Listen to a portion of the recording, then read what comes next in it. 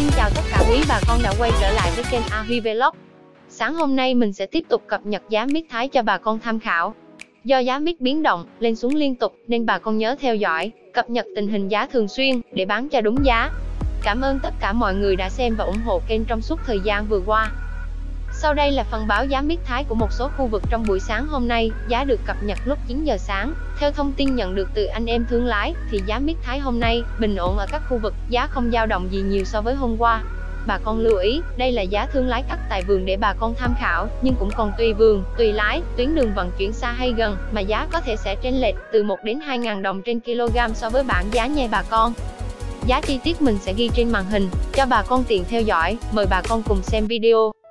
Giá mít Thái tại Đồng Tháp và An Giang. Mít nhất 4.000 đồng trên kg. Mít nhì 2.000 đồng trên kg. Mít bi 2.000 đồng trên kg.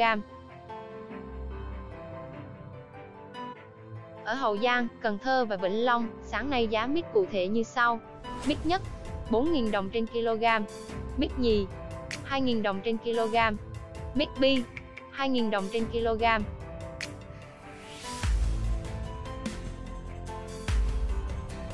Khu vực Long An, giá thương lái thu mua tại vườn. Mít nhất 4.000 đồng trên kg. Mít nhì 2.000 đồng trên kg. Mít bi 2.000 đồng trên kg.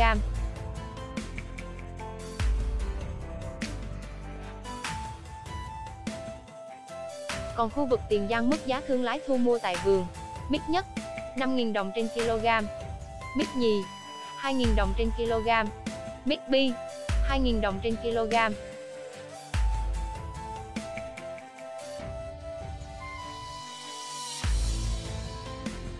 Khu vực Đồng Nai, Bình Phước và Vũng Tàu, giá mít thương lái cắt tại vườn. Mít nhất 3.000 đồng trên kg.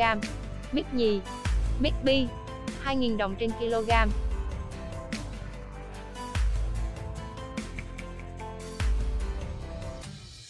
Khu vực Tây Nguyên, mít nhất 3.000 đồng trên kg. Mít nhì, mít bi 2.000 đồng trên kg.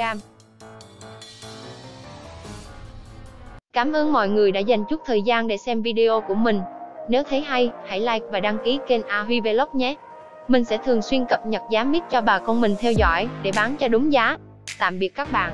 Hẹn gặp lại các bạn trong những video tiếp theo.